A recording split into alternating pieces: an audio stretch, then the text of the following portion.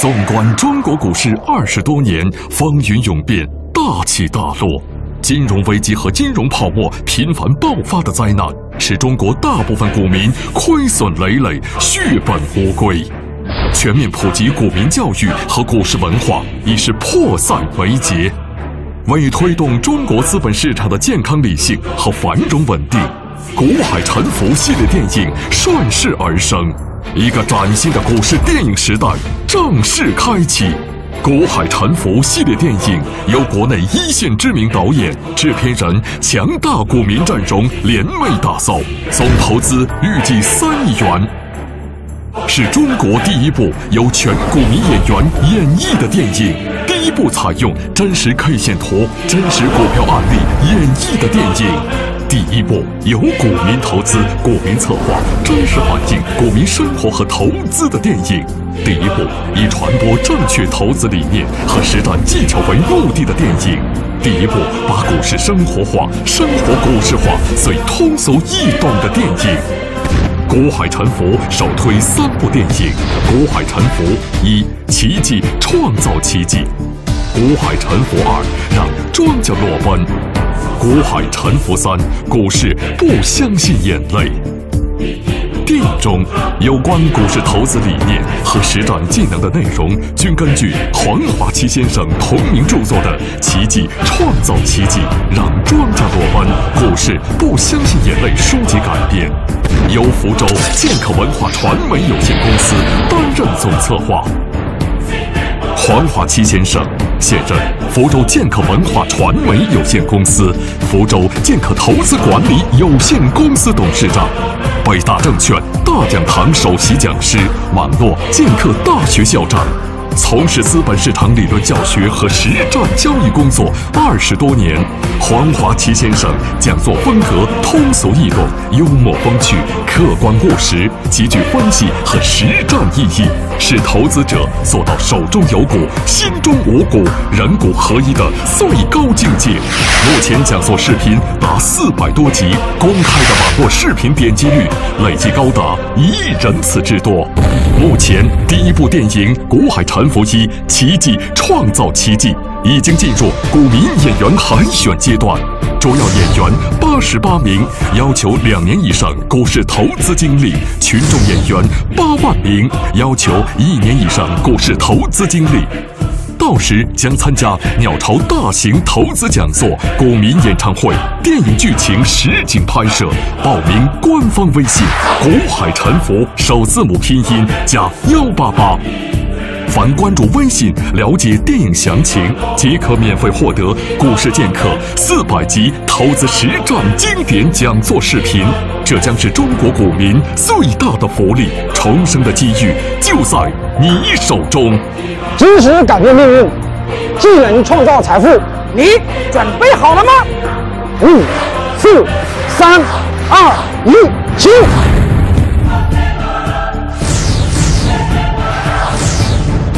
股市黑马横空出世，一剑定乾坤。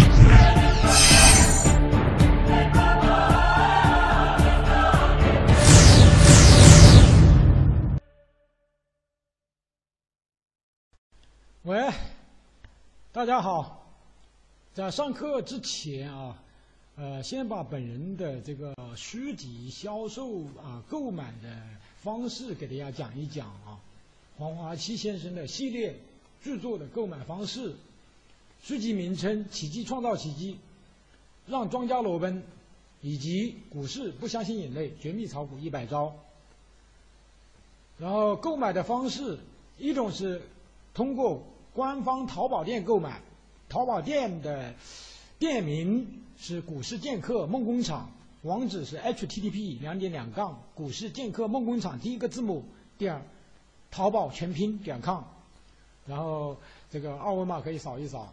第二种购买方式是微信购买，微信微信号的名称是“股海沉浮电影”，啊，然后微信号是“股海沉浮”第一个字母幺八八。二维码可以扫一下，然后第二个微信号，微信名称是股市剑客，微信号是股市剑客第一个字母幺六八，二维码扫一扫就可以购买啊本人的系列书籍啊。这个剑客文化传媒官方网站：http: 两点两杠三 w 点剑客文化传媒第一个字母点 com 啊，登录官方网站也可以购买啊，然后淘宝以及官方微信都可以购买啊。那么呢，这个公告完毕，我们正式开始讲课。好，正式开始讲课啊，能听到声音吗？喂，能听到声音吗？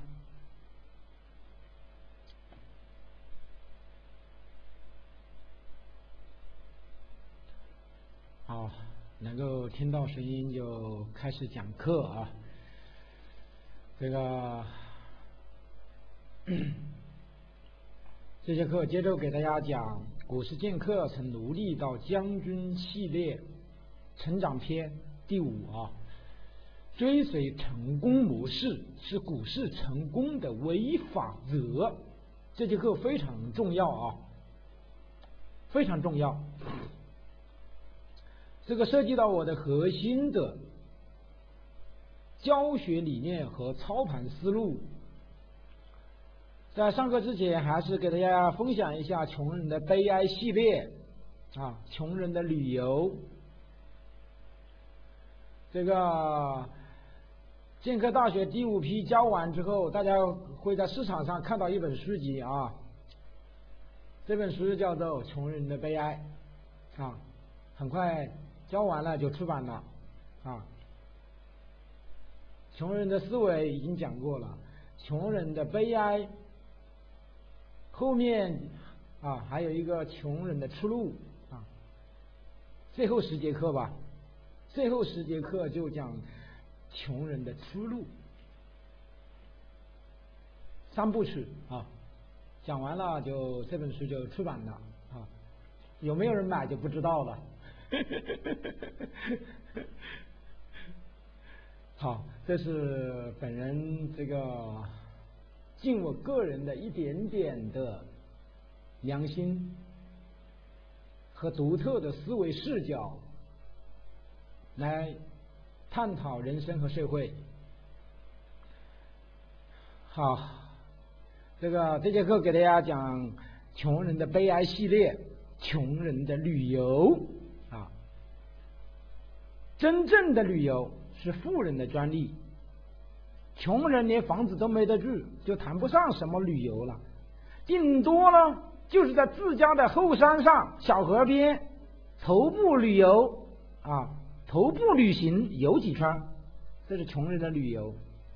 大部分人只能在地图上了解一下祖国的大好河山，具体是什么样子，只能靠做梦去想象。来，请各位。你们中国有三十三个省市自治区、直辖市，去过一半以上的，去过一半以上的发个一给我看一下。祖国的大好河山，去过一半以上的，啊，去过一半以上的发一个一给我看一下。嗯，有一个，啊，两个，三个。不是路过啊，路过路过就不算了，啊，路过不算，啊，去过一半以上的，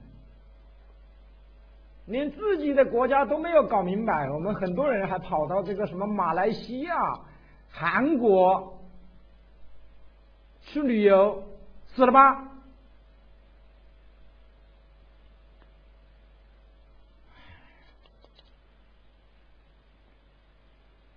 这就是中国人的旅游啊，旅游不是穷人的专利啊，只有富人才叫旅游，我们穷人最多就是徒步旅行。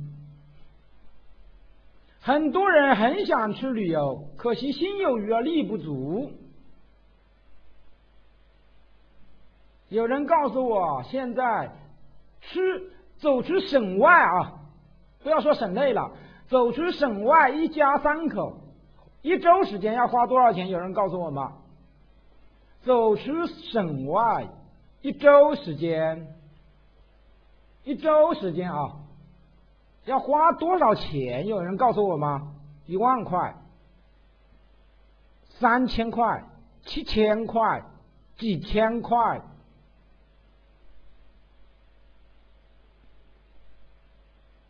好，看来大部分是穷人啊，大部分还是穷人。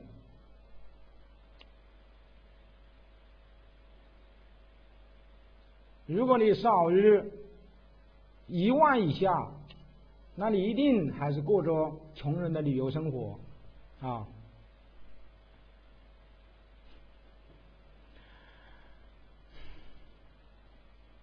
旅游是一个烧钱的玩意儿。如果你没有什么钱，千万不要去幻想旅游是一件很快乐的事情。你会次次受气，次次受罪，次次受骗，次次被人忽悠。不仅没有玩好，还会折寿几年。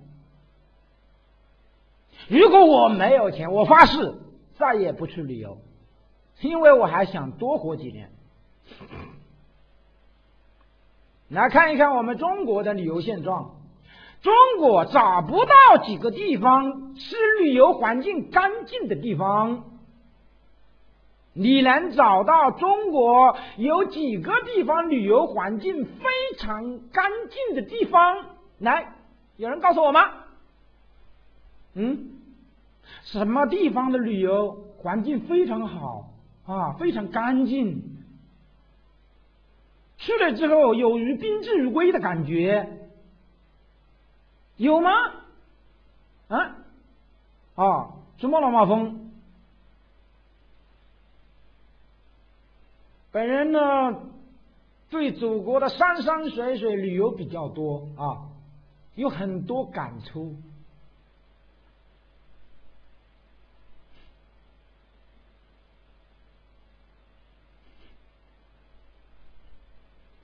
你一进入旅游禁地，叫禁地啊，就明显发现你已经进入了一个周围都是狼的世界，到处是门票售票点，对吗？嗯，你找一个地方要收点门票，你再找一个地方收点门票，你再你跨一个门就收一个门票，对吗？啊，这是中国的旅游。有的地方还实行了套票，那个套票也是鬼画符啊，那也是扯淡的一个一个东西啊。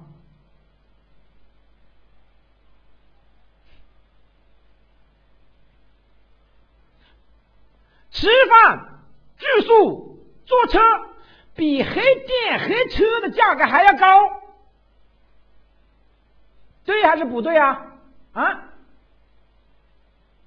吃饭、住宿、坐车，比黑店还要黑店，难道我讲的不对吗？啊？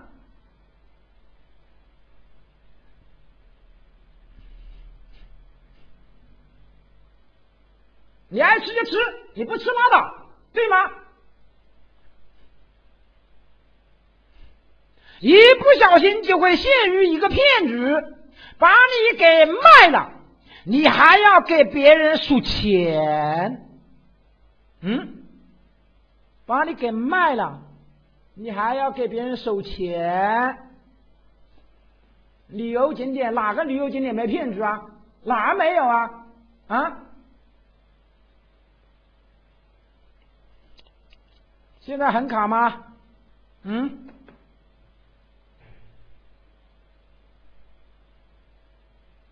现在很卡吗？有不卡的吗？啊？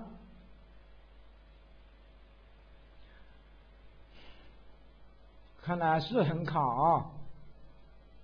我把这个网络重启一下，好吧？重启一下，好吧？嗯，大概就两分钟吧，两分钟，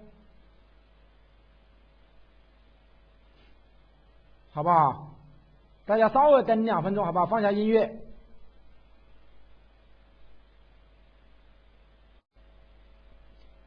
现在效果怎么样？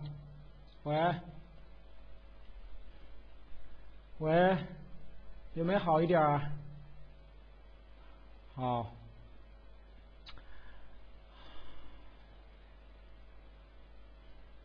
这是刚才给大家讲到了旅游。你一不小心就被骗了啊！我在这儿给大家分享一个我被骗的故事啊。像我这么精明的人都被骗了，那你其他人就不用说了啊。大家到过浙江杭州有一个千岛湖，去过的人发个一给我看一下啊。千岛湖，大家都说浙江是一个很文明的地方啊。千岛湖哎，还是有不少人去的对吧？那个千岛湖那个鬼岛上有一个。有一个有一个山，山上面有一个书院，什么书院我就忘了啊。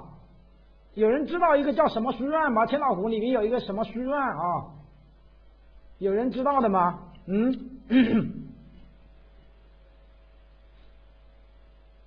都不知道啊。那个岛上有一个啊啊坑前书院，对，好像是有一个叫坑前书院啊。那个书院坑钱是非常牛的啊。我们六个人大概坑了一千块钱跑掉了，只有一个人没被坑啊，那就是我老婆。一个人一个人坑了两百块，怎么坑的呢？啊，那非常高。一进那个书院，有一个妇有一个妇鬼妇妇女啊，先给你三根香，来免费烧香，免费烧香，香是免费的啊，真免费吗？烧完香之后，一人给他十块、二十块、五十块。这个叫香火钱，你得给啊。给完钱之后呢，就去抽签啊。抽完签之后呢，就解签。最要命的就是解签这个地方了啊，很恐怖。解签的时候啊，他就先问你，你要保谁的平安呢？你说，哎呀，我要保我儿子的平安。那你就把你儿子名字写在这儿吧。我一写，把我儿子名字给写上去了。写完了名字之后呢，他就让你在你儿子的名字后面写一个幺八八啊，或者幺九八，也要发发是永久发。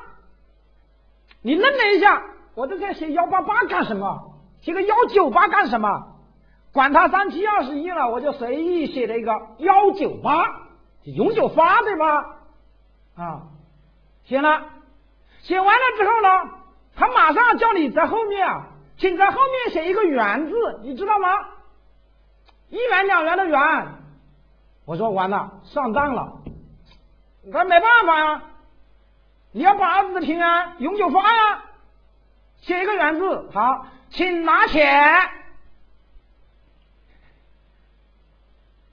高吗？啊！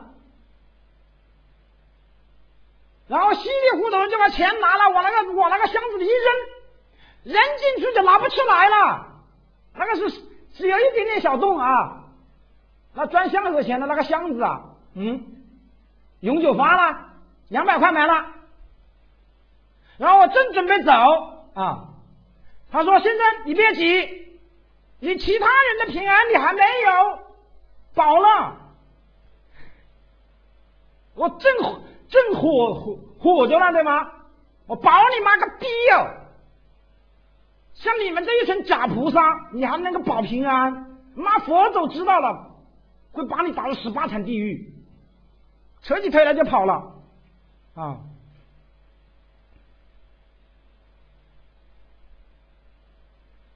拿佛祖来骗人，你说缺德到什么程度了吗？啊？这个社会已经很糟糕了。如果我心甘情愿，我赚一个香火钱，赚一个啊几百块、千二八百块都无所谓。但是它就是一个连环的圈套，让你不知不觉就上当了。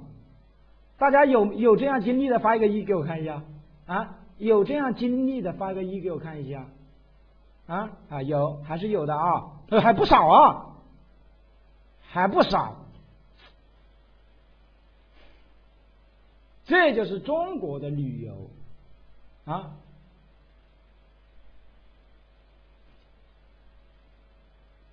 把你卖了，是不是把我给卖了，我还真数钱了啊。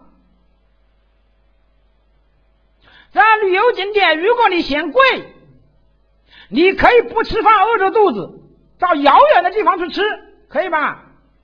你坐一个几公里的车，十几公里的车，那个地方便宜，你到那去吃吧。你也可以不住宿，你觉得这样住宿很贵，那你也到遥远的地方去住吧。你坐个几十公里，到别的地方去住去。你也可以不坐里面的车，你多走几公里的路吧，你挤公交车也可以。如果你没钱，你只能在旅游区饿着肚子，跑很远的地方住宿，坐车。有的地方很邪门的很啊，连公交车都没有，他就是不搞公交车给你，你非得坐那个车。有的地方船也是啊，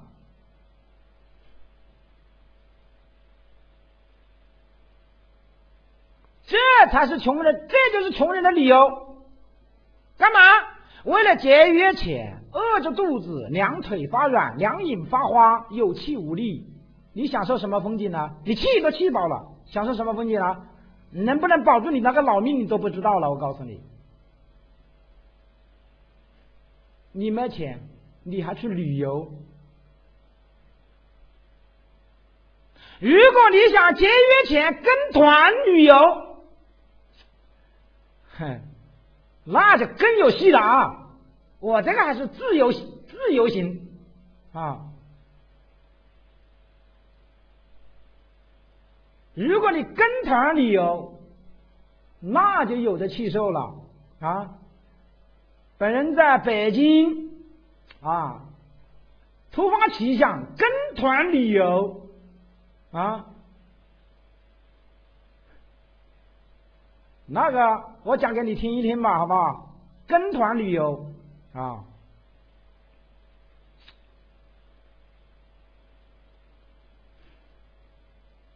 跟团旅游，那才真的叫一个中国特色。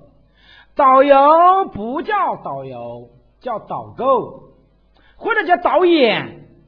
他让你干什么，你就干什么啊。岛里有两个景点，在岛里逛四家超市，这叫北京一日游。不知道大家游过没有啊？我是游过一次的，啊，八大游八达岭是吧？长城加上十三陵，加上明故宫，总共实际就有两个地方啊。十三陵那个是闭会了啊，几。半个小时也没有，想去就去，不去就不去。有两个地方逛了四家超市，啊，逛超市你买还是不买呀？你买还是不买？你说我不买，你不买呀？你不买，等一下告诉你，你上不了车，因为是要拿着小票才能上车的。你在超市购物是不是小票？你没有小票交给导游，你上车都上不去。我告诉你，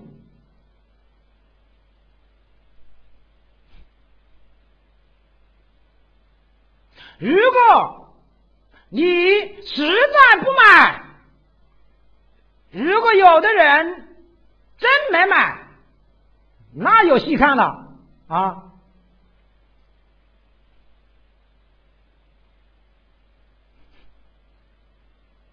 那个导游从上车开始骂，一直骂到下车，把你骂的狗血喷头。你一路上会愉快吗？所有的旅客都不会愉快。你还有心情游山逛水吗？啊？和下地狱没有什么区别。见过导游骂吗？我们香港不是香港不是这报道过吗？哎呀，北京就有，不用到香港了啊！从头骂到尾，你没钱，你没钱还去了旅游啊？狗长犄角，羊把式。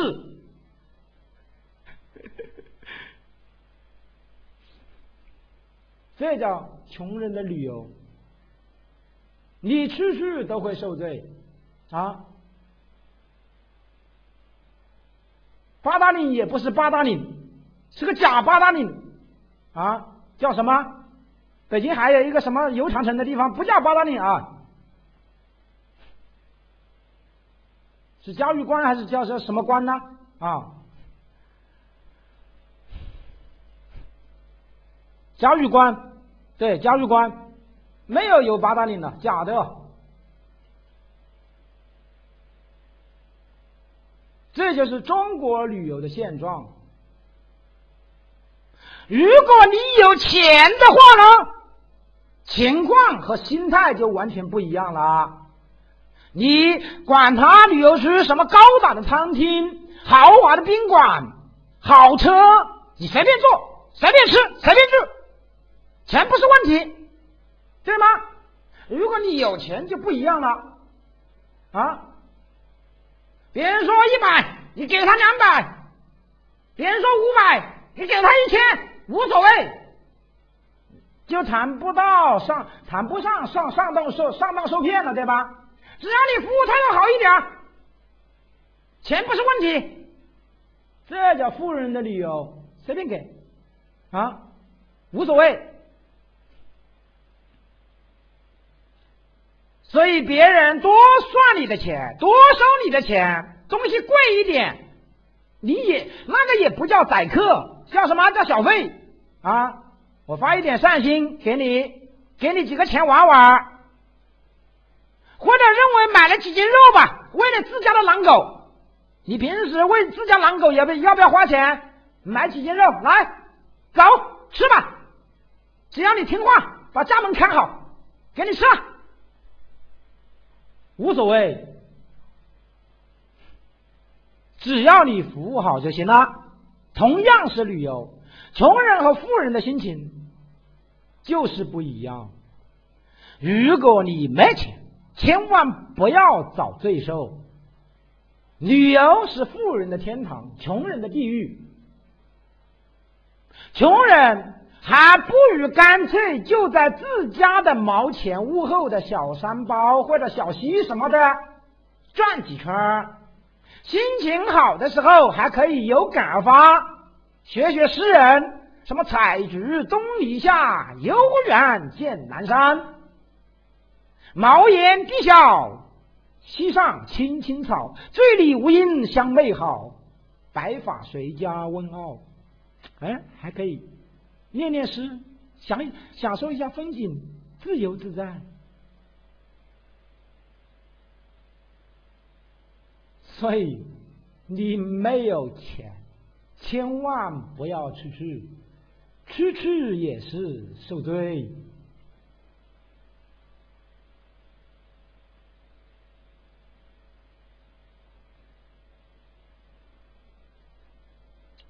这是。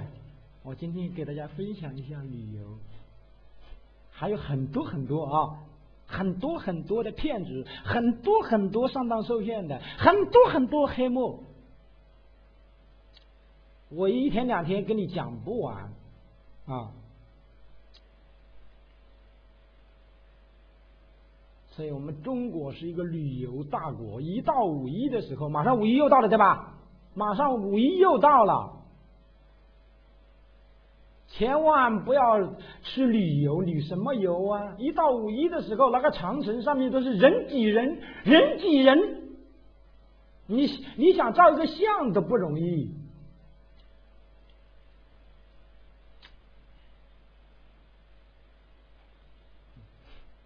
每一次出去都是都是受气的，受罪的，就待在自家门口啊。在树林里边转几圈，听听鸟声，听听鸡叫声、狗叫声，比那个快乐。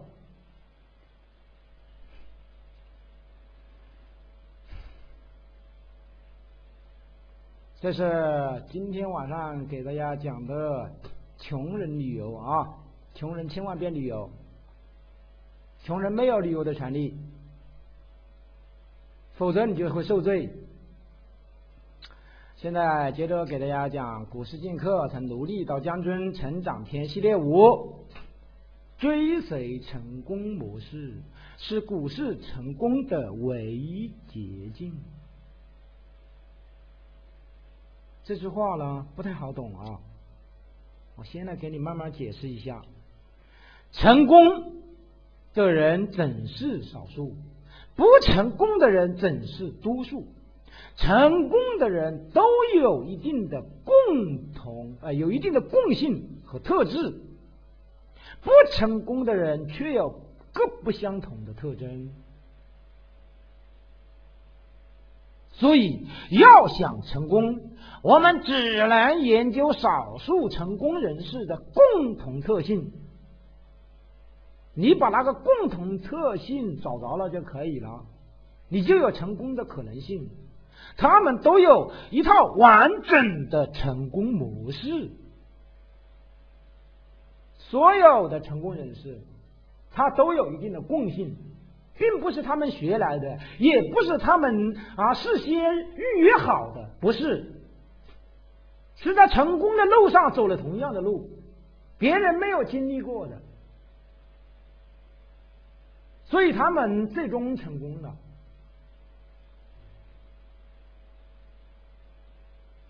我们只要复制成功模式，并且加以灵活的应用，才能够最终走向成功。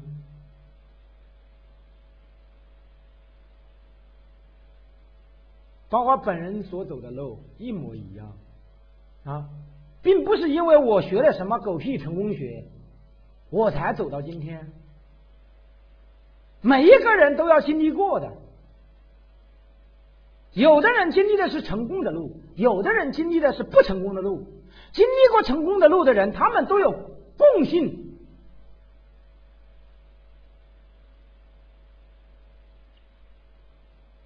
股市也是一样，所有的强势大牛股，它都有一定的共同特征。回答是吗？回答是吗？所有的大牛股、大黑马，它都有共同的特征。你这一点你不认可都没有用。如果你不认可，只是你没有找到而已啊！今天我就让你让大家把它找着。他们究竟具备有什么样的特征？所有的大牛股究竟具备有什么样的特征？长得是什么模样？这就是我们今天晚上要去寻找的终极目标。我们只要研究强势大牛股的共同特征，并且根据其特征，在低位的时候就发现它。我们才能这个股市中获得巨大的成功。不成功的股票形态各异，原因各不相同。我们没有足够的时间和精力去研究它，也无法把握它的规律。请问，在这个市场上是强势股多还是弱势股多？嗯？是大牛股多，还是弱势股多啊？嗯，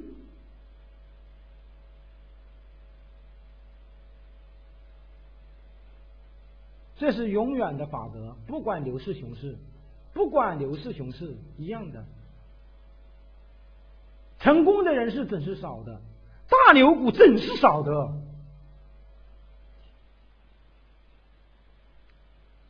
那我们就研究少的吧，多的你不要去研究，多的你研究不完，你没那个时间和精力。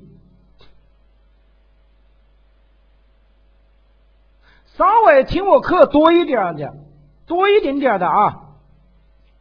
我讲了十多年的课程了，网络是从零九年开始的，嗯，听过我课的，你有没有发现？有没有发现这个规律啊？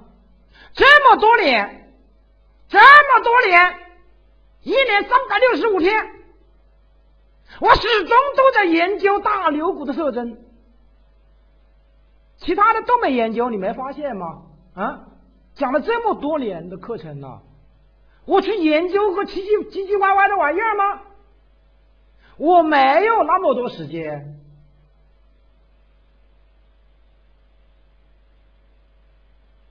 我在研究大牛股，它究竟长的是什么样子，有什么样的特征，形成的机制是什么？你看多了，你看多了，一看一眼啊，一秒钟你就知道一只股票是不是大牛股。你看多了嘛，啊？你看女人看多了，你一眼就知道她是不是一个女人。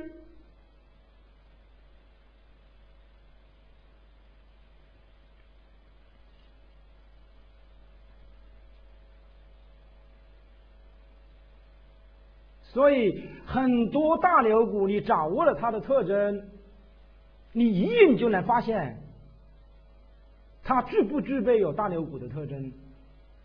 你也不需要去研究那么多的这个这个东西那个东西，你就那么干那么多干嘛啊？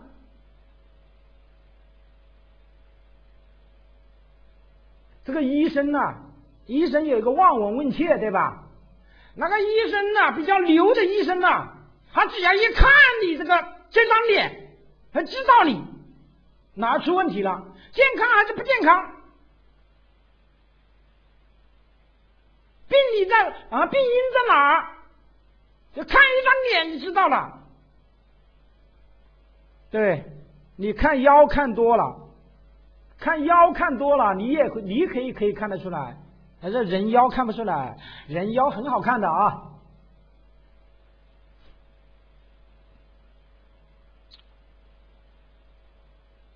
所以。追随成功模式是股市成功的唯一捷径。那么，大牛股究竟具备有什么样的特征？今天晚上我给大家讲五大特征。五大特征，你把这五大特征搞明白了。今天晚上我讲完课之后呢，把课件发在群共享里边去。你把这五大特征，把它打印出来，贴在你床头上面，贴在你卫生间里边。你好好去看一看，天天看，大牛股究竟具备有什么样的特征啊？把它背得滚瓜烂熟。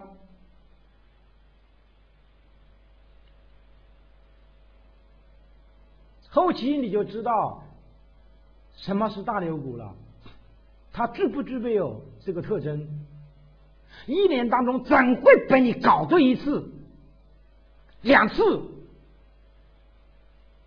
大牛股一年当中搞一两次，你觉得你有收益吗？啊，你会发财吗？我年年都搞了一只两只，我不骗大家。年年都搞过，我算不上什么股神，我一年当中总会搞一两次大牛股，就那么两三个月，把一年的钱都搞定。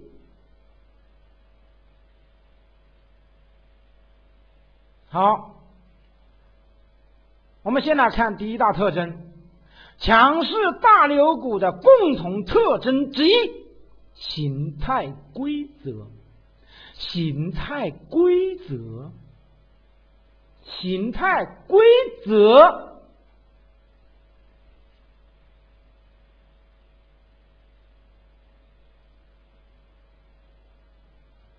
能明白吗？啊？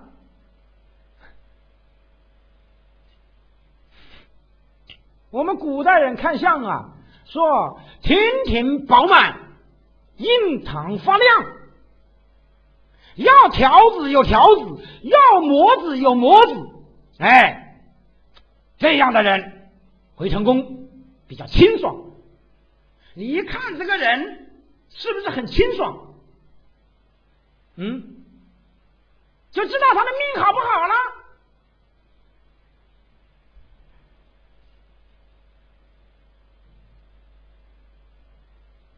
看人也是一样，看得顺眼吗？啊，看起来清爽吗？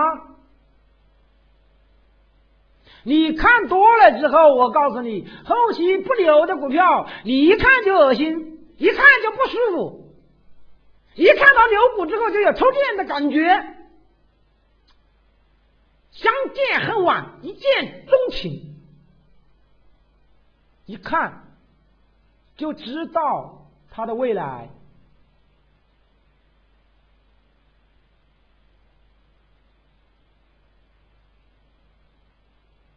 好，什么叫形态规则啊？首先来看一看规则的形态说明什么了？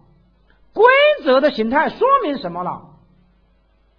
说明主力有计划的在按照自己的意愿在操盘，没有受到外界环境的干扰和破坏形态。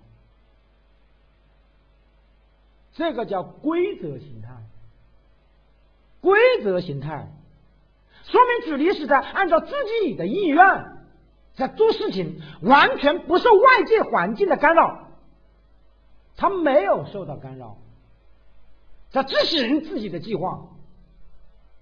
我第一步干什么啊？第二步干什么？第三步干什么？完全按照自己的意愿在走。你说这样的啊，顺风顺顺水顺心，你觉得这样的股票好吗？啊？他最终做庄能成功吗？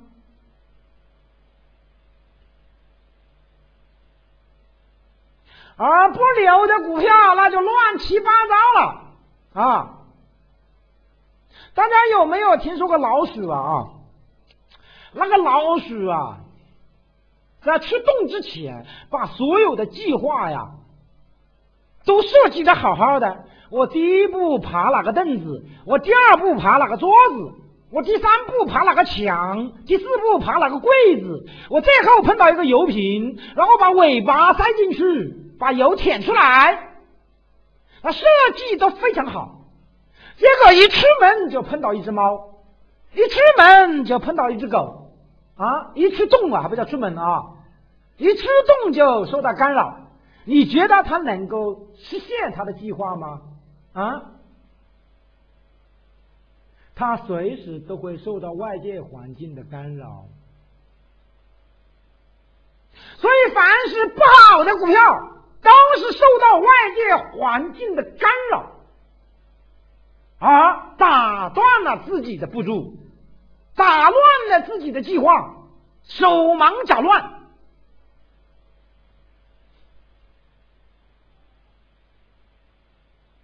没有规则形态的股票，一定是有病。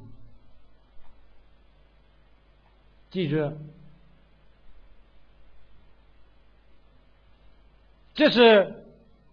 规则的形态说明什么问题？规则的形态同时说明主力资金实力雄厚，不受恶劣外界环境的影响和个股利空因素的破坏。这是第二个规则的形态，反映主力实力雄厚，资金雄厚。你以为你想做什么样的形态就能做什么样的形态吗？嗯，规则的形态是要用金钱来作为后盾的。如果你没有足够的钱，你想做出规则的形态来？你觉得可能性大吗？啊，可能性大吗？现在大盘暴跌，你离破位只有一步之遥了，你扛得住还是扛不住啊？啊？你得用钱来扛，一切由实力说了算。规则的形态需要资金来作为保障，资金实力强就体现在形态规则上面来了。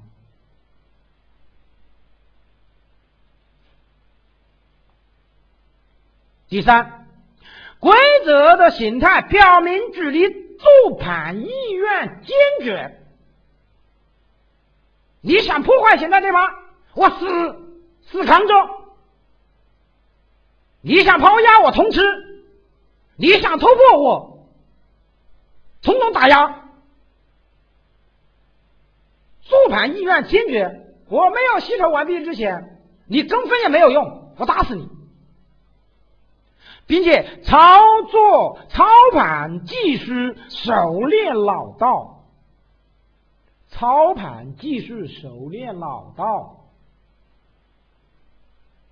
庄家是不是有人在操有有人来操控的？那么人是不是有走势的？那么谁在设计这样一个形态？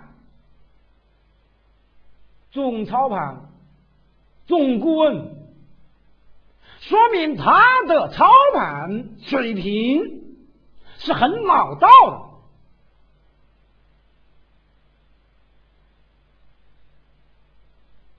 只有一流的建筑设计师才能建造出一流的大厦出来。资金实力雄厚是一个方面。你的操盘水平、操盘技术是一个方面，不是说你有钱你就能把一只股票操操盘好的。你的总设计师牛不牛？什么时候该打压？什么时候该护盘？什么时候挂该挂什么样的单？这都是非常讲究的。一个庄家有没有好的操盘顾问、好的总操盘设计师，决定了一只股票是不是大牛股。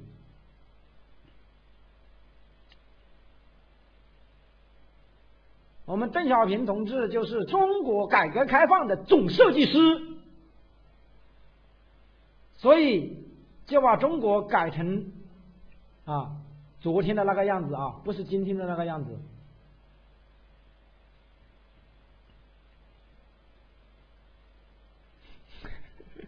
四不像是今天啊，跟邓小平没关系啊，反正他是已经头是开了啊，他后面没有尾啊。我们后代人不够聪明，不够智慧。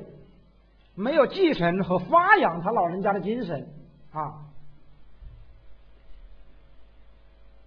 他往把中国向前面跨了半步，后面半步没人敢走了，没有一个人敢走了啊！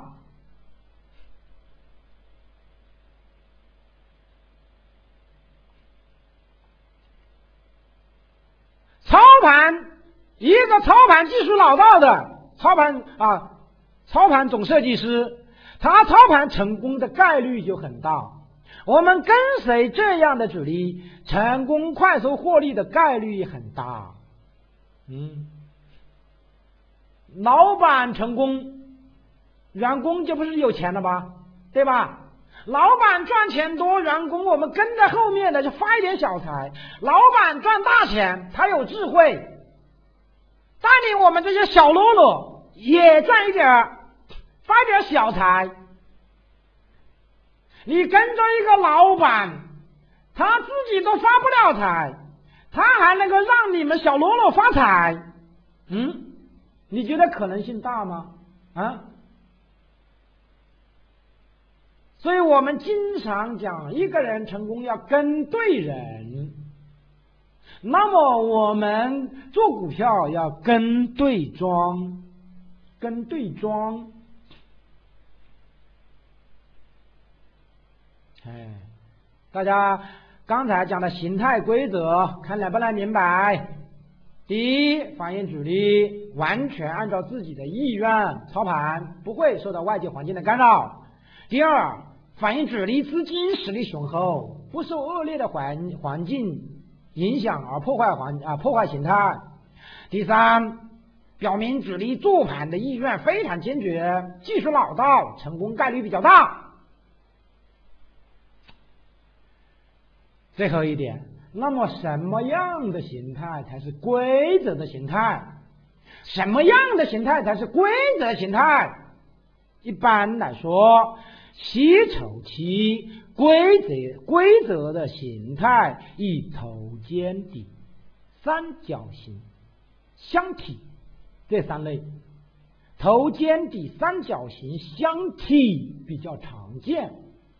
这三类形态还要我讲吗？啊？我还要再讲一遍吗？我已经讲过太多遍了啊！如果不懂得，你去看看我的课件。洗盘期的规则形态以三角形、箱体、旗形比较常见，三角形最多，箱体有一部分，旗形有一部分。一般来说。洗筹期头肩底是最牛的，洗盘期三角形是最牛的。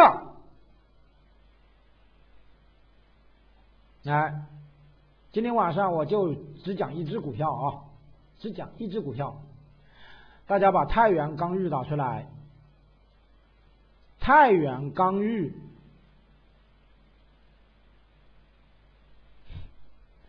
打出来这支票。太原钢玉零零零七九五，把这支票打出来，三个零七九五啊，三个零七九五，打到二零一零年涨得最牛的这一波，好不好？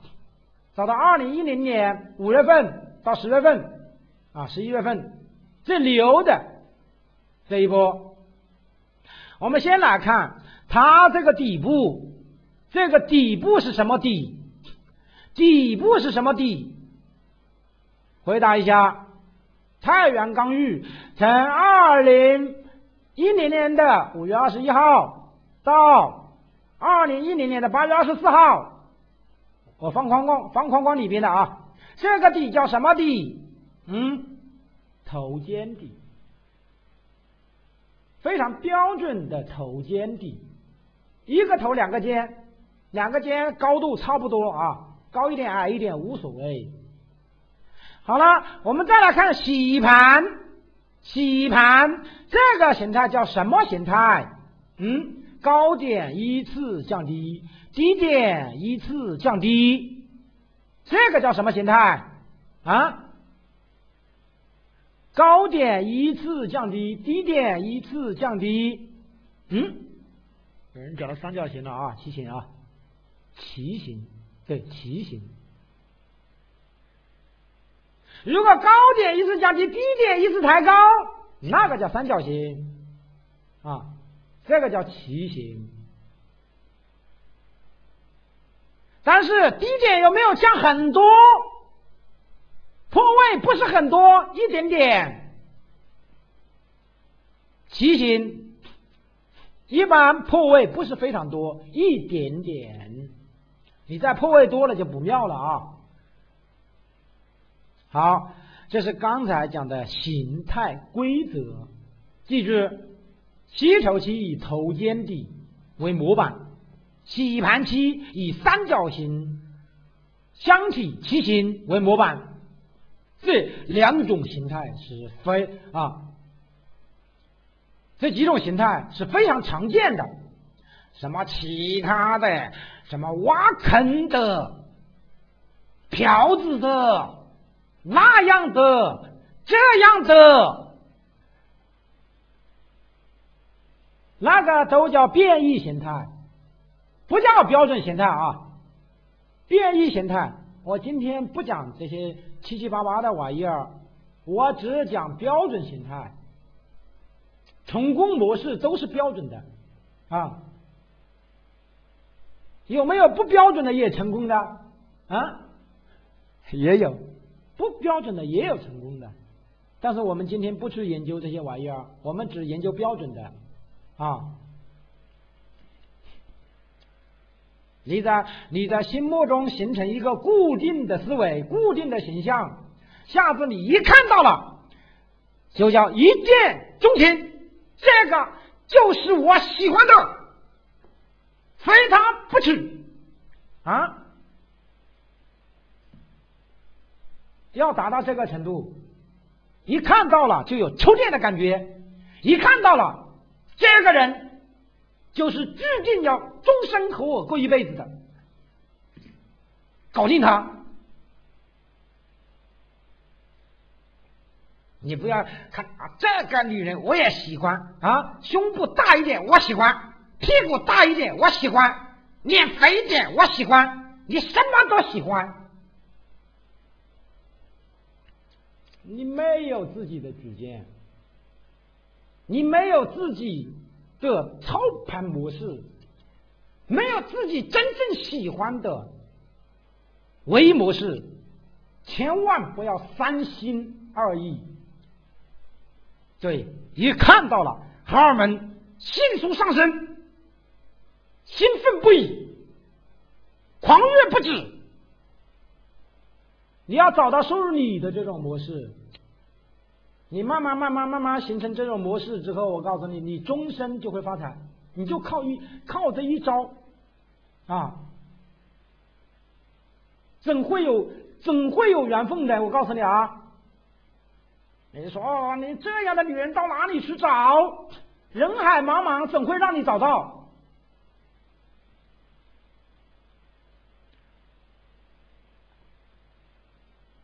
第二。强势大牛股的共同特征之二，窄幅震荡。第一是形态规则，第二是窄幅震荡。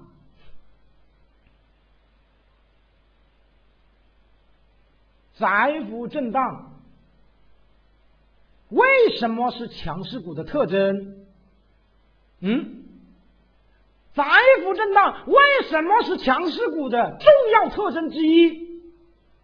我慢慢给你道来，窄幅震荡说明该股抗跌性强。第一个抗跌性强，为什么大盘跌了这么多了，它始终在那儿窄幅震荡了？因为它抗跌性强嘛。别的股票都跌了百分之一二十了，它就在那每跌两个点、三个点、五个啊五个点，涨也涨两个点、三个点、五个点，它始终在那窄幅震荡。第一反映了它抗跌性强。第二，指的资金实力雄厚。如果你资金实力不雄厚，会发生什么啊？资金实力不雄厚会发生什么？你告诉我啊！资金实力不雄厚会发生什么？扛不住，与窄幅震荡相对应的啊？对，只有我们随心搞对了。宽幅震荡，宽幅震荡，因为它资金实力不雄厚嘛。大盘一跌，它比大盘跌的更多。宽幅震荡，我经常举一个例子啊，我们把资金实力和体质的相比较一下，好不好？一个人如果体质非常好，体质非常好，抵抗力非常强，那么你刮风也好，你出太阳也好，那么他的体温始终都在三十七点五、三十七点四，三十七点三。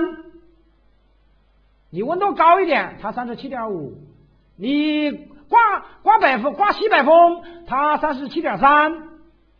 你平时呢，它是三十七点四，它始终的体温就保持在这个窄幅的范围内。如果一个体质不好的，会发生什么？啊，一个体质不好的会发生什么？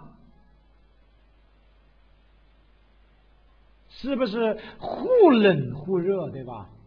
一会儿三十九度三。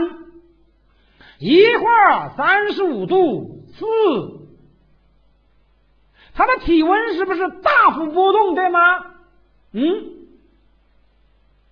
一会儿哇凉哇凉的，一会儿烫的要命，它的体温波动是不是非常大？说明它抵抗力不流，体质不够好。一个股票宽幅震荡。就说明主力实力不了。我讲了这么多，你明白了吗？啊，讲了这么多，你明白了吗？窄幅震荡才代表它实力雄厚，不是任何人我想窄幅震荡你就窄幅震荡啊啊！昨天大盘一跌，前天大盘一跌，大前天大盘一跌，今天大盘一跌，是不是很多股票扛不住啊？扛不住了，对吧？说明实力还没那么强，实力没那么强，说明他的体质还不是很牛，不是很牛啊，很牛的，那么它的振幅就小了，这个叫做窄幅震荡。第一，抗跌性强。第二，主力资金实力雄厚；第三，控盘程度较高，控盘程度较高。这句话不容易明白，对吧？不容易明白。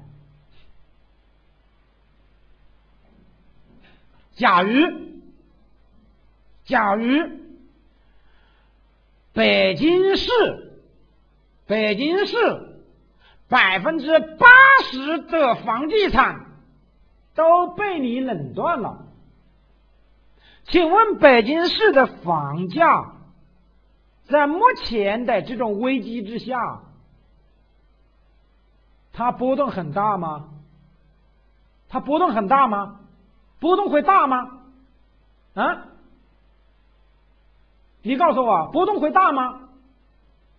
我有足够的实力，我不降价，它的价格就很坚挺，四万一平方，五万一平方，六万一平方，我说了算，对吧？如果你在北京市房地产控盘程度不高，那么别人一降价，你就会跟着降哦，对吗？啊？因为这个房地产市场不是由你说了算，你不控盘吗？嗯，这个和物价是一样的，垄断才有定价权。哎，我们这个我命由我，这位兄弟啊，是兄弟还是姐妹我就不知道了，搞得不错啊。中国的石油油价，你看到吗？中国的油价，他说涨就涨，他说不涨就不涨，因为他觉啊是弟弟啊，我有我们有我有我啊，我们有我弟弟。今天涨了，今天涨了，难道不是他说了算了吗？啊？他说涨就涨，牛吗？啊？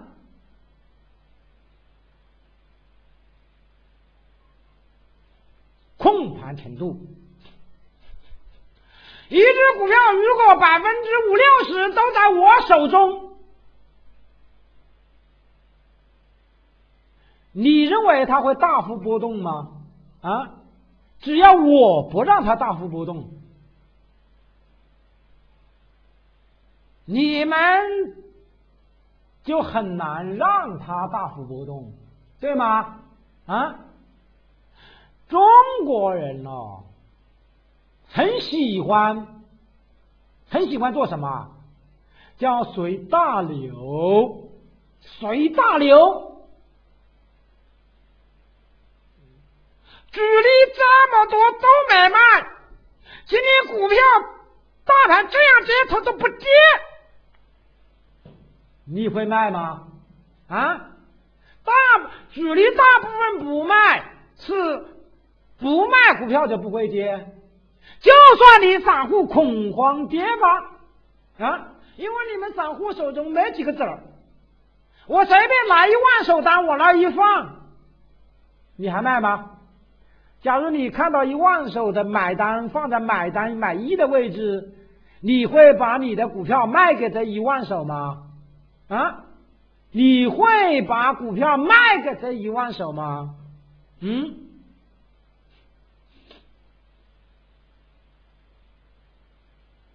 别人一万手都敢买，你还卖你那几百手啊？你那几百手算什么？人在水里边连个水泡泡都没有一个，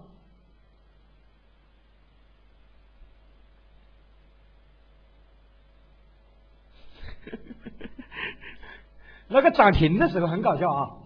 如果一只股票涨停了啊，如果上面只压一个五十手、一百手，我们是不是睡不着觉啊？假如早上涨停了，只压五十手，你是不是睡不着觉啊？如果他压一个十万手，你还盯着看吗？你还盯着看吗？嗯，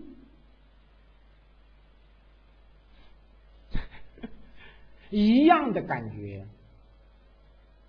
所以窄幅震荡，说明主力控盘程度非常高。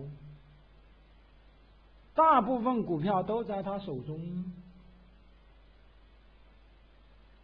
我说震荡几个点儿就几个点儿，你大盘跌无效。你说我有一千万，我要砸你，你把你的一千万看得太大了啊！一千万能砸几个点儿？能砸几个点下来啊？啊，一千万，一千万砸不了几个点儿，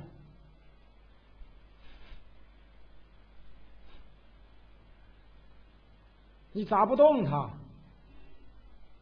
它有足够的实力，零点五个点的，只能砸零点五个点，零点五个点是不是窄幅震荡啊？嗯，肉包子打狗有去无回了。连个响声都没有，所以这是第一，窄幅震荡说明抗跌性强，主力实力雄厚，控盘程度高。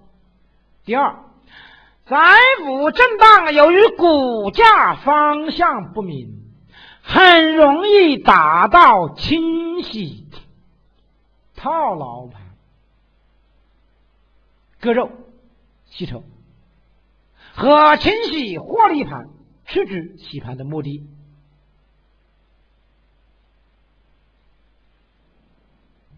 窄幅震荡很容易让套牢盘割肉，很容易让获利盘出局。为什么啊？为什么窄幅震荡？很容易让套牢盘割肉，让获利盘吃纸。嗯，为什么？有没有人告诉我啊？煎熬，对，煎熬是一个方面。对，方向不明，方向不明，回答的是最正确的。如果一个股票，它的振幅上下只有百分之五。假如它跌到四点五的时候，你在想什么？它跌到四点五，它上下振幅都只有百分之五。当跌到四点五的时候，你在想什么？有人告诉我吗？啊？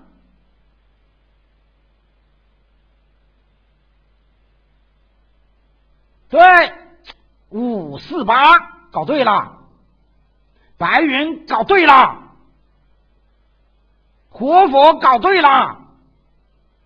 因为它振幅太小了，它随便跌三四个点儿、四五个点儿，就有可能到达横盘整理的边缘。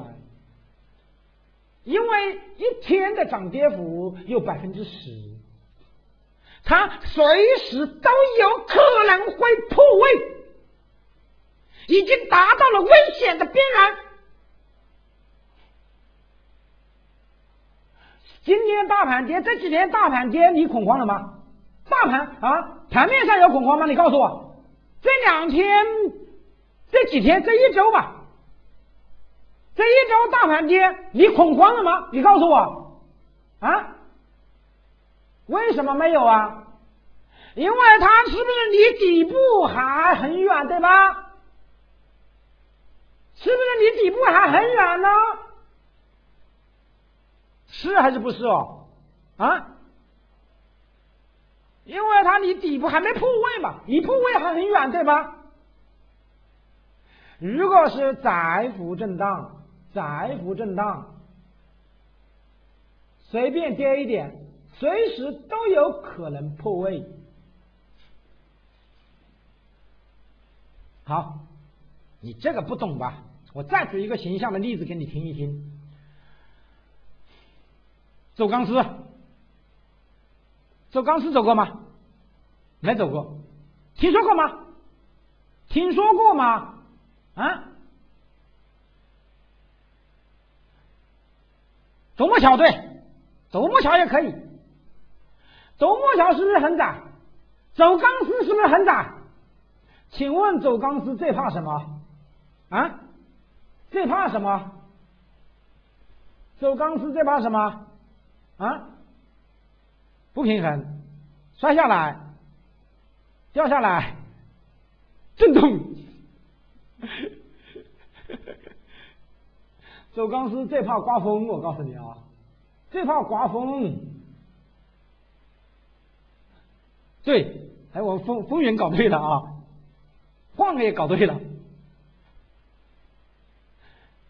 因为你随便抖一下就失去平衡了。就打破你这个平衡了，破位了，因为这个钢丝很窄很窄，你只能在一点点的范围内震荡，对吧？你随便风大一点，你就破位了，嗯，破位了就会摔死你。所以窄幅震荡为什么很容易让人割肉？第一，方向不明，不知道往上还是往下；第二，它很容易破位，让人悬着悬着。啊！大家有没有发现，上一次没多长时间啊，上一次大盘离前期低点破位已经已经破位了。我告诉你啊，只是破位不多而已，对吧？只是破位一点点，恐慌立即就出来了。请问今天这个创业板有没有创新低？回答。今天创业板有没有创新低？啊？创业板有没有创新低？创一点点新低，对吧？很多创业板都吓得不得了，生怕破位之后一落千丈。这是一个心理因素啊，心理因素。懂不懂得？我们平时在里边的时候，你没去感悟啊。我这个人呢，就是喜欢揣摩心理啊。我有这样的经历，你也有，只是你没有总结而已啊。我喜欢总结，这就是窄幅震荡方向不明，很容易达到清洗套牢盘、清洗获利盘的目的。那么清洗对主力有什么好处啊？那么主力吸筹是不是容易？洗盘是不是容易？对吗？那么吸筹容易，洗盘容易，那么它速度是不是快了？那么你启动你拉伸是不是就快了？第三，窄幅震荡，由于上下振幅很小，短线资金不愿意参与，是这样吗？啊，是这样吗？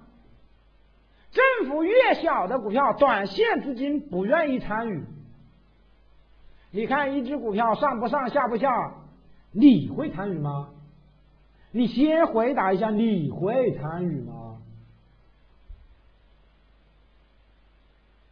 嗯，你可能会，但一定是长线资金，你绝对不是短线资金啊。因为短线资金他想做差价，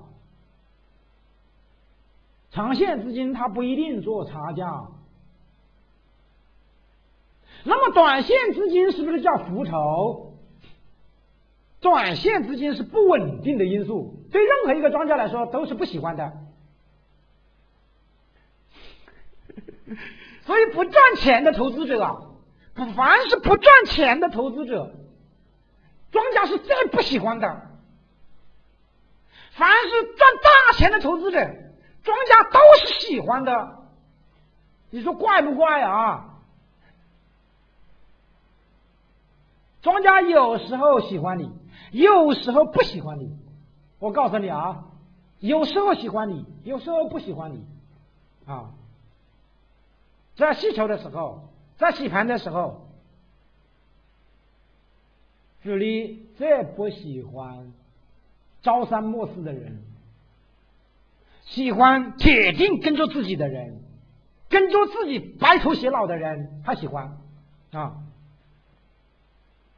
在启动的时候，在拉伸的时候，主力又喜欢七搞八搞的人啊，朝三暮四的人。喜欢啊！你赚一点钱出来吧，想赚钱的人进来吧。哎，在出货的时候那就更喜欢了啊！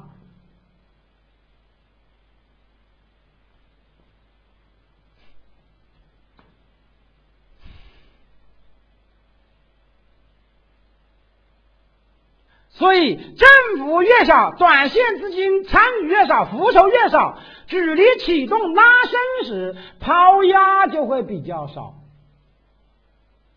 启动拉升时受到的阻力就不大，上涨的爆发力就会大，持续性就会强，上涨的幅度就会大。这是窄幅震荡的它的好处，因为窄幅震荡，凡是在里面的人。心态都是大部分是非常好的，所以拉伸的时候，大部分人不会卖。拉伸没什么压力，拉伸持续性比较强，幅度比较大，拉伸比较快。懂不懂得窄幅震荡好处？窄幅震荡的好处啊？刚才大家说窄幅震荡，我肯定是不进的。那告诉你，你的心态绝对是不好的那一类。啊，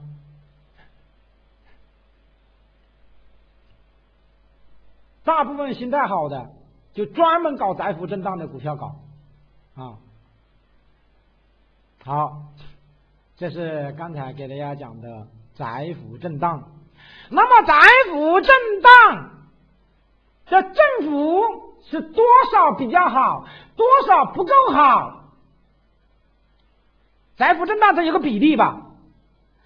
百分之十五的范围以内是正常的收入窄幅震荡超过百分之二十就不叫窄幅震荡而叫宽幅震荡为什么在百分之十五以内？为什么在百分之十五以内叫窄幅震荡嗯？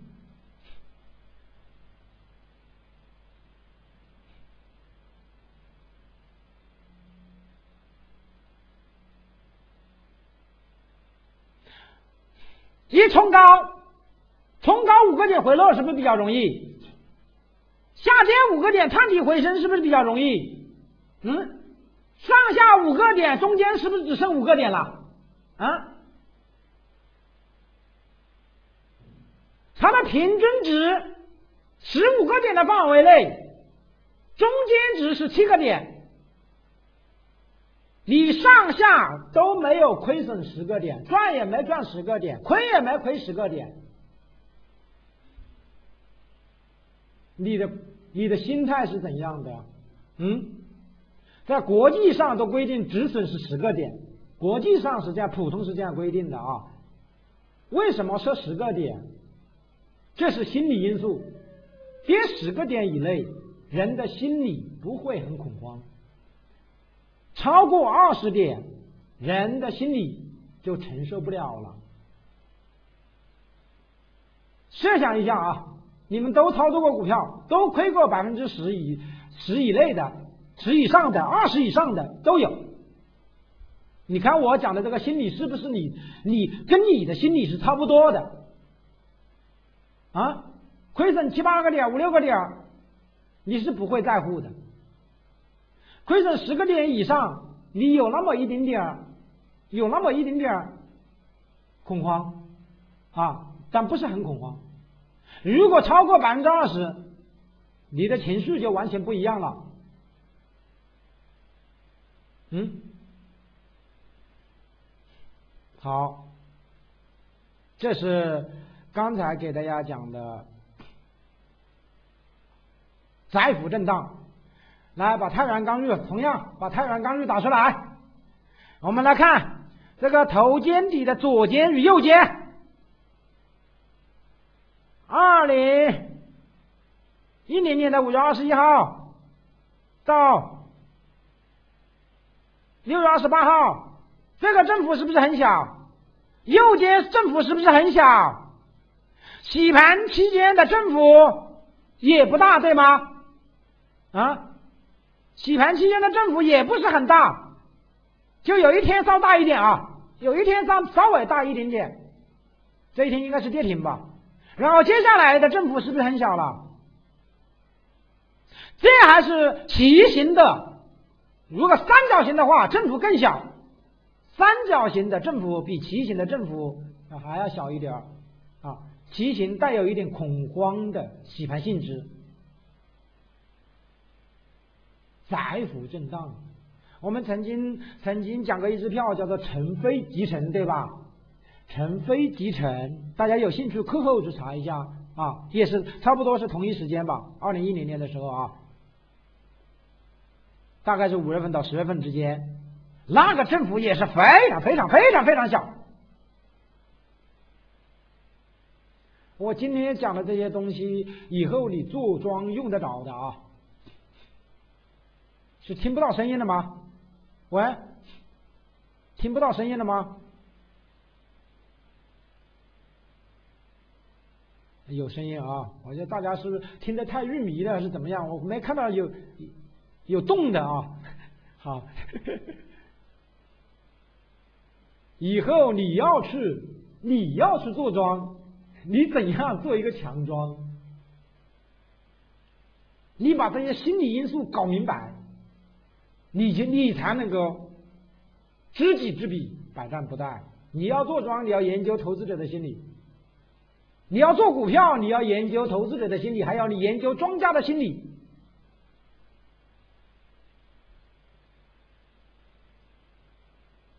窄幅震荡啊，啊，搞了这么长的时间了，休息个五分钟，好不好？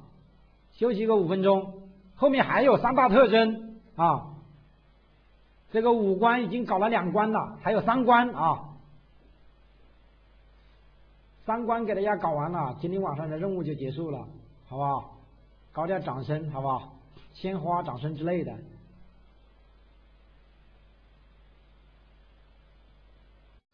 好，接着讲课。这是刚才给大家讲了两大特征，第三大特征，强势大牛股的共同特征之三：高度控盘。高度控盘。什么叫高度控盘？是指主力拥有该股比较大比例的流通盘的股票，主力拥有流通盘比较大比例的股票。一般来说，如果一只股票是全流通的啊，我们一般是看流通盘，那么拥有流通盘的百分之四十五的股票是非常高的了，因为它还需要一部分流动资金。啊，如果十大流通股中的占比稍微大一点，那么主力拥有的流通盘比例在百分之三十五，就属于高度控盘了。所以我们经常去看流十看流通盘的时候，看一下看一下十大流通股东占比多少啊？因为十大流通股东一般是不轻易流通的啊。它流通需要有公告，增持还是减持啊？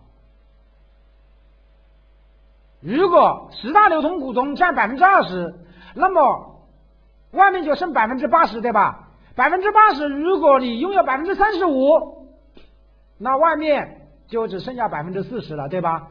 你再加上流动资金的话，百分之十也能达到百分之四十五左右。这是高度控盘的一个比例特征。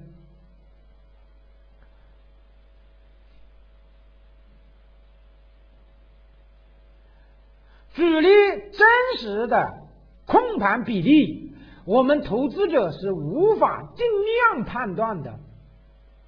所以我们经常讲到主力高度控盘啊，高度控盘。我们是无法知道它的比例。你说控盘高度控盘控盘多少了？主力控盘多少了？我们无法猜得到，啊，也很难定量。一般来说，我们如果一只股票在吸筹期或者洗盘期，形态规则、窄幅震荡、抗跌性强、筹码高度密集，这是一个非常重要的一个关关键的关键啊。筹码高度密集，套牢盘已经清洗完毕了，我们就可以判断主力高度控盘了。形态又比较规则，振幅又比较小，大盘跌它不跌，抗跌性强，然后所有的筹码都堆积在一个地方，上方的套牢盘已经没有了，那我们基本上判定符合这几项特征，我们就可以判定它高度控盘了。主力高度，主力控盘程度越高。那么它未来的爆发力越强，涨速越快，涨幅也越大，所以我们投资者尽量选择距离高度控盘的股票进行操作，安全系数就比较高，获利的概率就比较大。我们来看一下，同样还是刚才的这个太原钢玉。我们把鼠标把筹码也打出来，好不好？筹码也打出来。我们先放在启动启动点的位置，启动点的位置。这个时候上方还有一部分套牢盘，不多，很少。启动点的这一天，获利比例是多少？二零一零年的八月二十六号，获利比例是多少？啊？获利比例是多少？有人告诉我吗？百分之九十二，百分之九十二，九十三，差不多啊。百分之九十二、九十三，上方只有很少的套牢盘了，大部分筹码都堆积在一个位置。好，我们再把鼠标放在二零一零年的十月二十一号，十月二十一号，十月二十一号，获利比例是多少？啊，获利比例是多少？百分之九十，那么你再放在二十二号，获利比例是多少？啊，二十二号的时候获利比例是多少？达到百分之一百了，对吗？上方套牢盘已经几乎没有了，下方获利盘也几乎没有了，不多了，很少的一部分，还能看到一点点啊，看到一点点也基本上是主力的，散户不多了啊。所以，从吸筹吸筹区也好，洗盘区也好，它的筹码都是高度集中，筹码高度集中。窄幅，你说筹码高度集中不是出货了吗？筹码高度集中永远都不可能出货。记住，筹码高度集中说明它的振幅很小，振幅小能出货吗？我已经讲过几百遍了，窄幅震荡是出不了货的。这是高度控盘的特征。第四，强势大牛股的共同特征之四，股性活跃。股性活跃，这里的重点讲一讲。股性是否活跃，主要看两个方面：第一，日涨幅；第二，日换手率。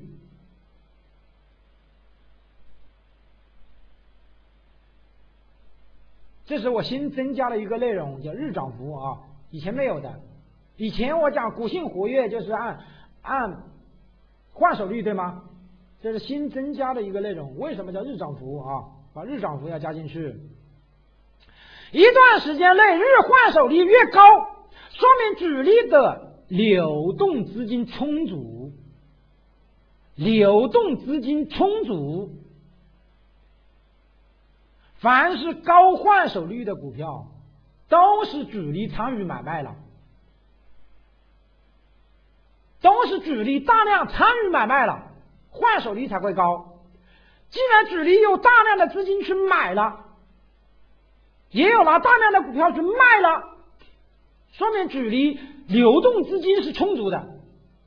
如果一天内换手率达到百分之二十，主力要拿百分之十的资金去频繁买卖，有百分之十的流动资金的主力是很牛很牛的了啊！资金实力雄厚。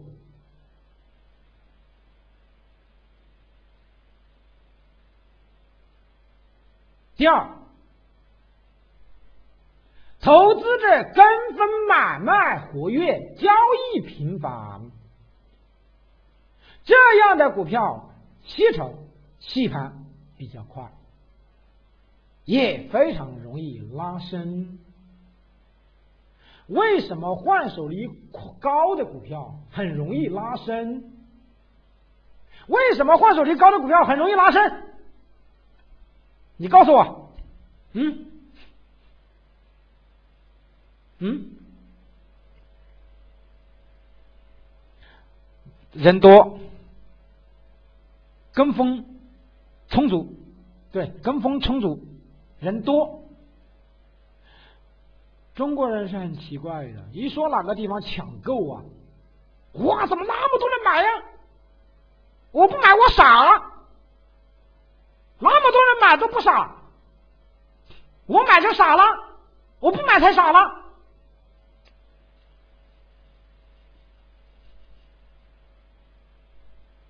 所以，在座有湖北的吗？啊，在座有湖北的吗？有湖北的发个一，好不好？五四九，两个，好。湖北有个汉正街，知道吗？啊，其他人知道吗？浙江有个义乌，是吧？听说过，你一年三百六十五天，你到汉正街也好，到义乌也好，你看那儿的人流量、交易量，你在那建一个厕所，你都赚钱，我告诉你。嗯，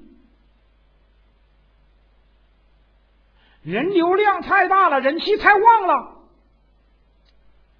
你在那做什么不赚钱？你告诉我啊！那么多的人，他要不要吃饭？要不要撒尿？你在那去做生意，特好做。你有没有发现那的店面也很高，对吧？店租也很高吧？啊？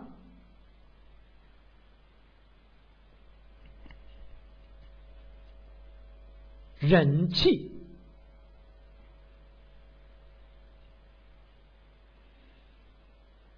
所以我们去搞股票，一定要搞股性比较活跃的，交易比较交易量比较大的，因为交易量越大越容易买卖，对吧？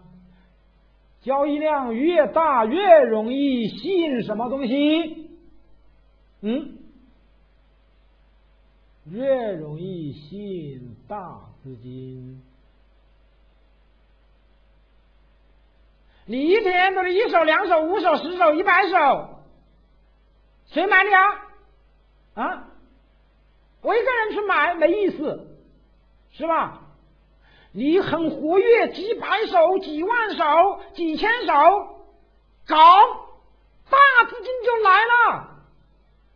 你搞一万手都敢搞，我搞两千手就不敢搞了，啊，对吧？人就是这样怪怪的哦，能吸纳大资金介入，有大资金的追捧推动，你说一只股票涨不涨啊？啊？它肯定涨，指定涨。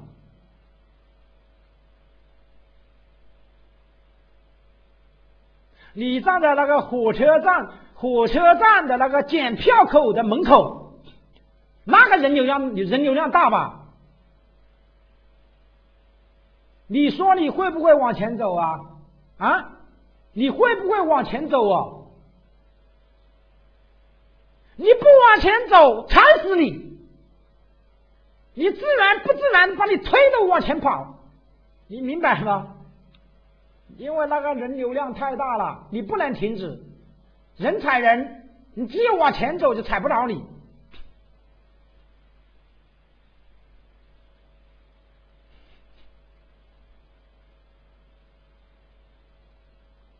这就是换手率高的好处。但有的股票换手率虽然不高，但由于距离高度控盘、高度锁仓，照样经常拉大阳上涨，涨幅也很大。这样的股票，我们也称之为股性活跃，就是涨得多、跌得少的活跃。它不是换手率活跃，这一类股票见过吗？啊，一天都是一个点的换手率，两个点的换手率，三四个点的换手率，它照样涨停，天天涨停，隔三差五涨停。你你能说它股性不活跃吗？那么这样的股票。只有两个原因：第一，高度控盘了，主力拥有大量的筹码；第二，高度锁仓了，我都不卖哟，我全部放在手上哦，我只拿一点点出来交易哦。那么市场上流通的股票是不是就少了？市场上流通的股票少了，涨起来就是是不是容易了？因为供不应求嘛。我随便拿一点资金一拉升，大家都疯狂抢，很快三三下两下的给它搞涨停了。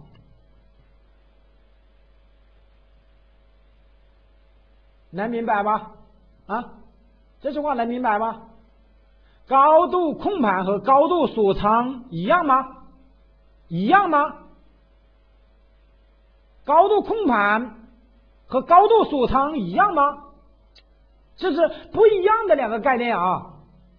高度控盘是拥有大量的大量的股票，高度锁仓是大量的股票不卖。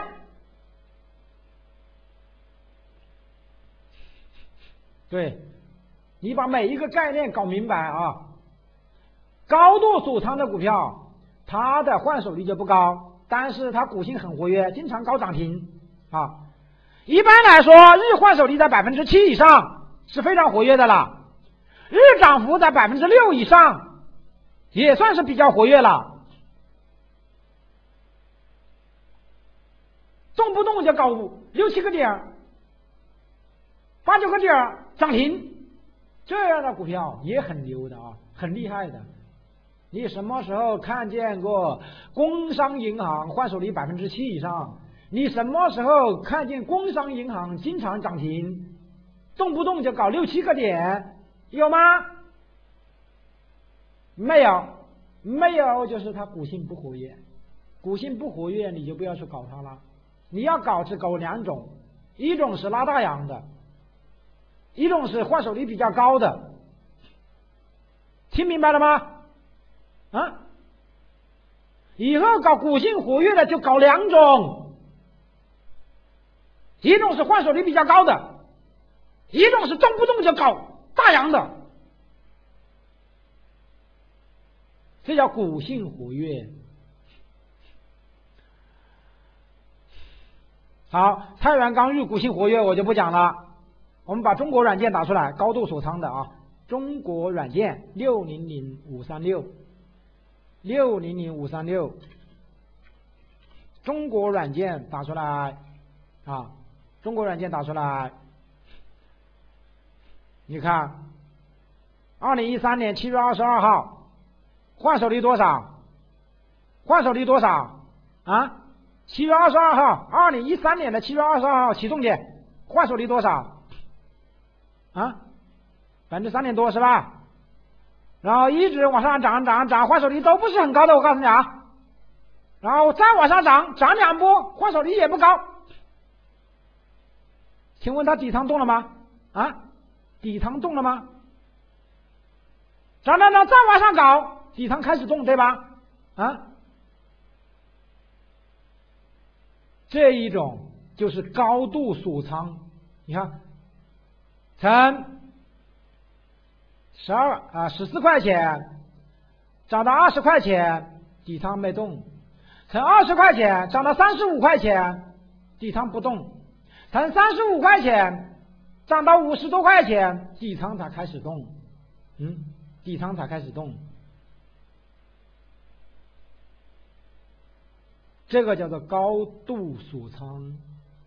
高度锁仓的股票，你发现一个特征，它的吸筹时间是比较长的，并且颜色都是黄色的。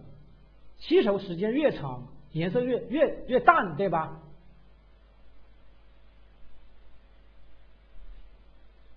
第五，强势大牛股的共同特征之五，抗跌性强，抗跌性强。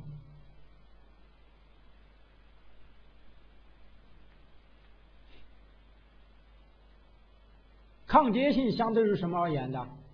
抗跌性相对于什么而言？有人知道吗？啊？啊，相对于大盘，相对于大盘和其他个股而言，抗跌性是一个相对概念，相对概念啊，有比较才能够有区别。啊，对，同行个股抗跌性，一只股票的抗跌性可以从政府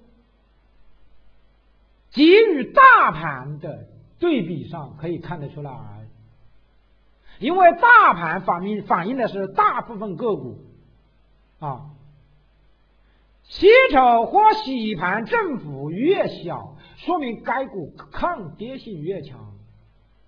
抗跌性越强，同样也说明主力资金实力雄厚，控盘程度比较高。所以我们经常要拿个股与大盘进行对比。如果一只股票的大盘下跌的时候，窄幅横盘整理，这是一种情况啊。你大盘大跌，我不怎么跌，我横盘；你大盘大跌，我小幅下跌，不行吗？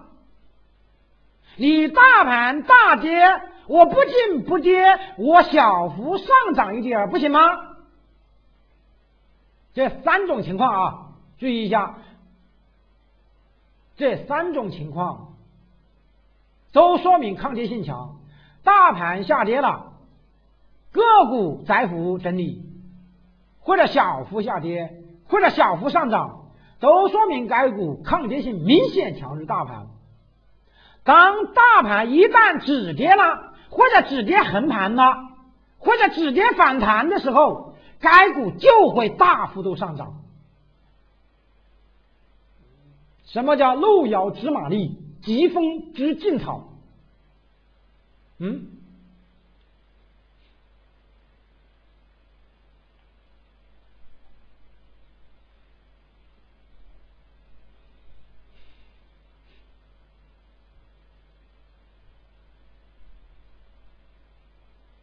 这叫抗跌性。一个村子发了一场鸡瘟，大部分鸡都死了。还有那么一两只鸡是没死的，你在想什么呢？啊？你在想什么了？啊？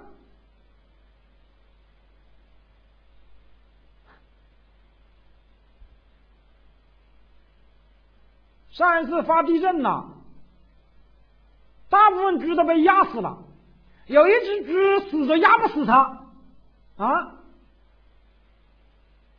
在网络上走红了，你知道吗？啊，猪坚强，对，猪坚强，还有个鸡坚强哦，不是鸡尖啊，是鸡尖，也是也叫鸡尖了，啊，鸡坚强，对，叫骨坚强，这个这个词流啊。大家大部分股票都跌了，它不跌，你这都看不出来呀，啊，抗跌性强，一定有它的道理，一定有它的实力，坚挺啊，这个这个那个街上有很多广告，是不是啊？做男人挺好，做女人挺好。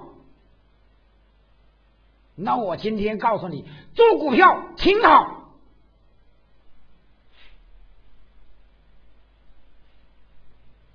坚挺才行。对，做股票挺好，一定要挺起来才叫好，挺不下来的就倒下了啊。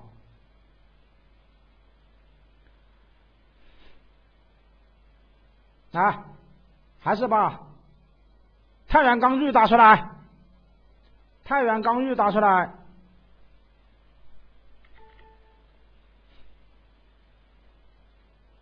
把太原钢玉打出来。啊！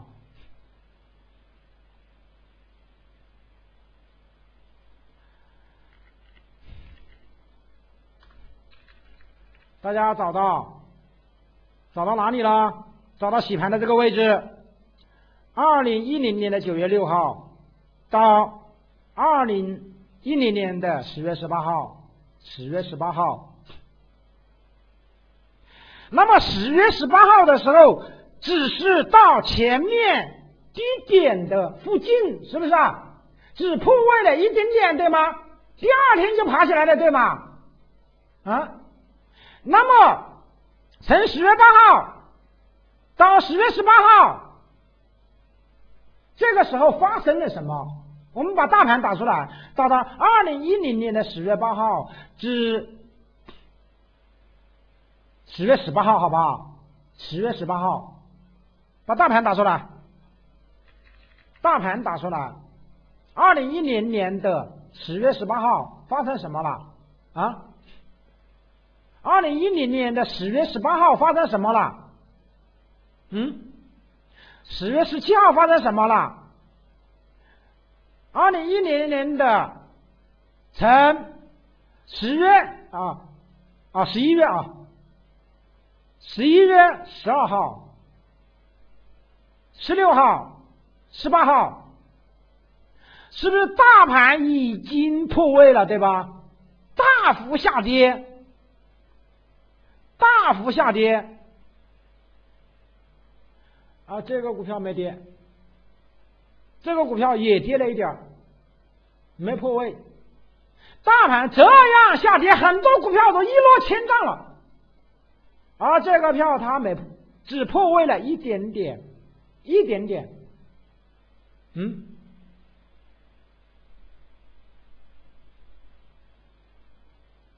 这个叫抗跌性，抗跌性。然后我前期给大家讲的艾斯德也是一模一样，一模一样啊。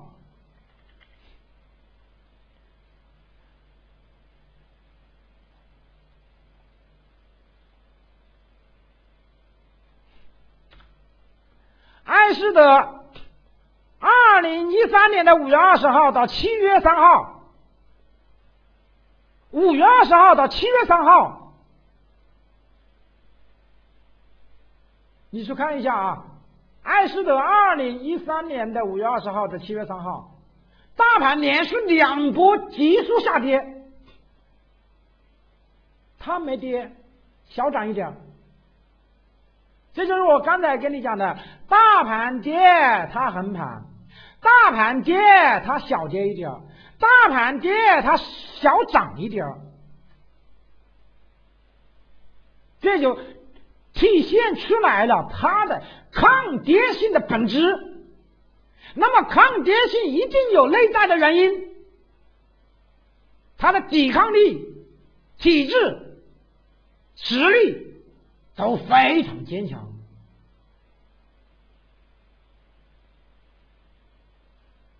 所以我告诉他什么时候选股最好选股啊？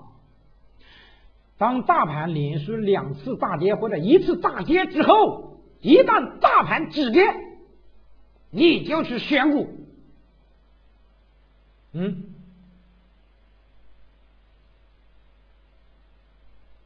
你就能选到强势股。明白什么时候选股最好吗？啊？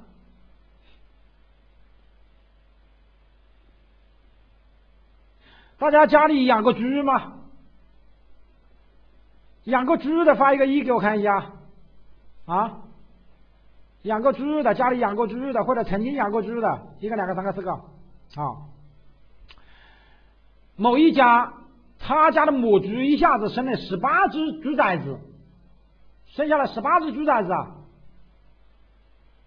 你怎样？你要去他他家买一只小猪来养，你怎样才能够找到最牛的一只猪啊？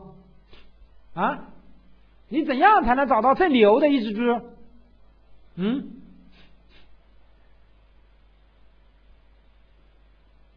活蹦乱跳的，我教你吧。因为我小的时候经常吃吃买猪肉啊，先拿一根竹竿子，一吼，一轰，敲几杆，看哪一只跑在最前面的，把那一只抱回家。啊，对，有的人说抢食很厉害的，那个也可以，这个方法也不错啊。还有，你看哪一只猪专门吃吃母猪最大的那个奶，你就把那一只抱回家。嗯，保证没错，弱肉强食嘛。只有最肥的猪才能吃最大的那个营养最丰富的。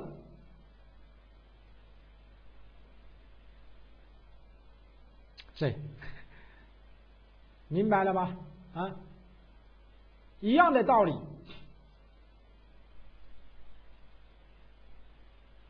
你千万不要去选跌的最多的。我们很多人恰恰相反，我搞跌的最多的。你搞跌的最多的，你那个体质最差。那个狼吃羊的时候，怎么搞的啊？牵五六只羊，把羊群一吓唬，然后羊就疯狂的跑，跑到最后的那一只是体质最差的，体质最差的。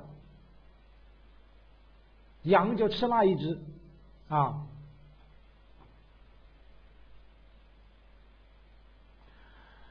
这是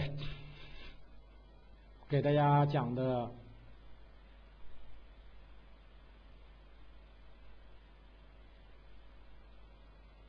今天给大家讲的强势股的特征，我不知道大家记清楚了没有啊？有没有什么感悟？如果你每一次过来学习都没有吸收到一点什么东西，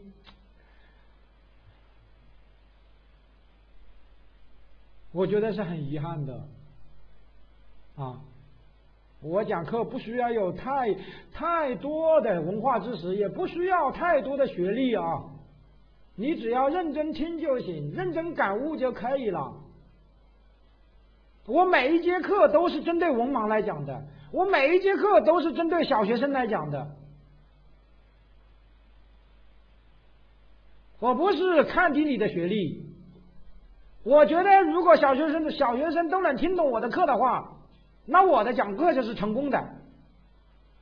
我讲的太太深奥了，大家学不会没有用的。我正在向一流的讲师靠拢啊。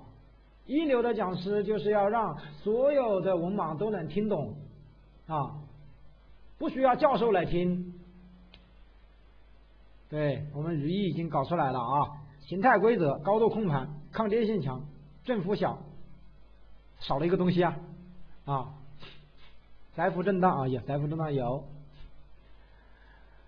股性活跃少了一个东西啊，啊，股性活跃。这样你学到东西了啊！今天晚上还要回去这个揣摩一下啊。